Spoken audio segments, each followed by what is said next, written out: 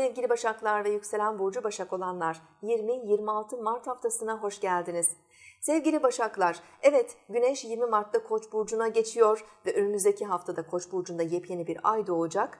E, bu şekilde önümüzdeki ay e, sizin için özellikle hisseli paralar, ortaklı işler, gelir giderler ve genel anlamda para konuları Güneş tarafından daha fazla aydınlatılacak.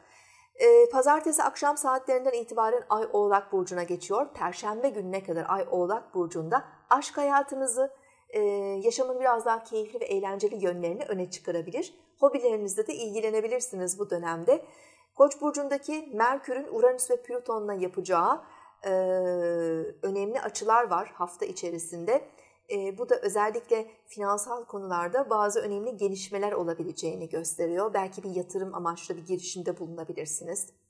Veya e, özellikle e, yeteneklerinizi değerlendirebileceğiniz e, ve bunun sonucunda para kazanabileceğiniz bazı öneriler, teklifler alabilirsiniz hafta içerisinde. Perşembe ve Cuma günü Ay Kova'da olacak günlük hayatınız, yakın çevrenizdeki kişiler, bazı akrabalara ait konular, evcil hayvanlarınız, genel sağlığınızla ilgili konular bugünlerde günlük hayatınızda ön planda olabilir. Hafta sonunda ise Ay Balık burcunda özellikle eşinize, partnerinize, özel ilişkilerinize odaklanabileceğiniz romantik etkiler var.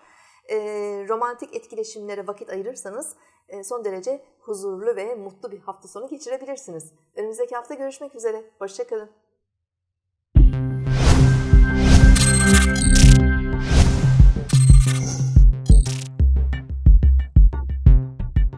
Akşam seminerimizi canlı olarak mobil uygulamamız üzerinden yapıyoruz.